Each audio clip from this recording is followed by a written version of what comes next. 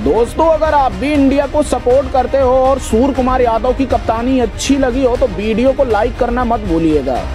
दोस्तों, team India ने T series अपने नाम कर भारतीय फैंस के दिल में जगह बनाने में कामयाब साबित हुई।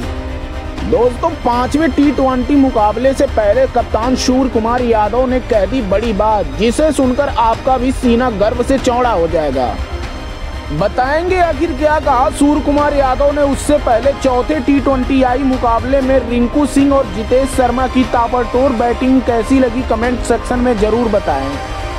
दोस्तों, ऑस्ट्रेलिया से खेले जा रहे पाँच मैचों की टी ट्वेंटी आई सीरीज़ में भारत ने तीन एक से इस सीरीज़ को अपने नाम कर लिया लेकिन भारतीय कप्तान सूर्य कुमार यादव की जीत की भूख अभी मिटी नहीं और बोल दी बड़ी बात। दोस्तों, जैसा कि आपको पता है, ऑस्ट्रेलिया ने टीम इंडिया को वर्ल्ड कप के फाइनल में हराकर टीम को ही नहीं, बल्कि भारतीय फैंस के दिलों को भी चोट पहुँचाया है। जिसके बाद ऑस्ट्रेलिया से चल रहे टी ट्वेंटी आई सीरीज़ में भारत ने अपना बदला पूरा कर लिया, लेकिन सूर्य कुमार यादव की भूख अभी मिटी नहीं।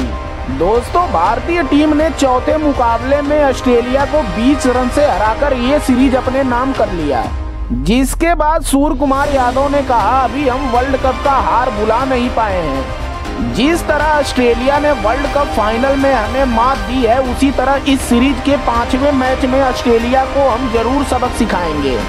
दोस्तों, सूर्या ने कहा, सीरीज़ तो हम जीत गए हैं, लेकिन आखिरी मुकाबले में इज़्ज़त भी जीतना है और ऑस्ट्रेलिया को चार एक से मात देनी है।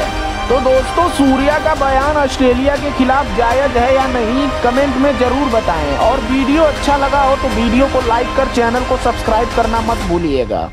दोस्तों, मिलते हैं नेक्स्ट वीडियो में। जय हिंद, जय भारत।